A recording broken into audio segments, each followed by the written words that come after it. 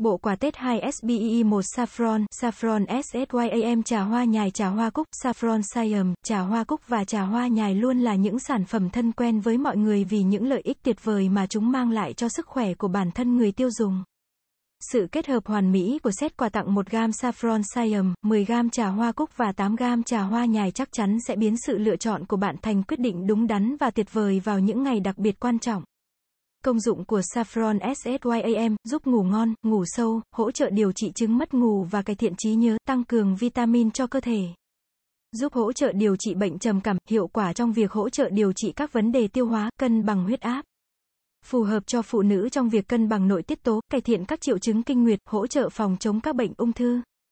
Tái tạo làn da, đem lại một làn da tươi trẻ, mịn màng, giúp giảm sẹo, xóa mờ thâm, mụn trên da, công dụng của trà hoa nhài giảm âu lo, phiền não, khả năng chống oxy hóa cao, giúp giảm các nguy cơ mắc bệnh ung thư, hỗ trợ giảm cân, tăng đề kháng chống lại vi khuẩn. Bảo vệ sức khỏe, giúp điều hòa đường máu, công dụng của trà hoa cúc, giảm âu lo, phiền não, khả năng chống oxy hóa cao. Giảm nguy cơ ung thư tuyến giáp và ung thư vú, hiệu quả trong việc làm giảm chứng đau bụng kinh, thanh mát cơ thể, giải nhiệt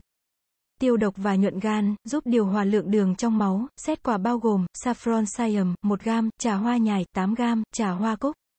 10 gam, giới thiệu về thương hiệu Saffron Việt Nam, công ty cổ phần Saffron Việt Nam, Saffron tại Việt Nam từ một cái tên không ai biết đến giờ đã trở thành một thị trường rộng lớn. Nhận được sự quan tâm của đông đảo người tiêu dùng Việt với thế mạnh là nơi đầu tiên và duy nhất nhập khẩu chính ngạch saffron từ Iran. Thủ phủ của nhụy hoa nghệ Tây trên toàn thế giới, Saffron Việt Nam mong muốn có thể biến việc sử dụng saffron chất lượng trở thành thói quen để mang lại sức khỏe thể chất lẫn tinh thần cho người Việt.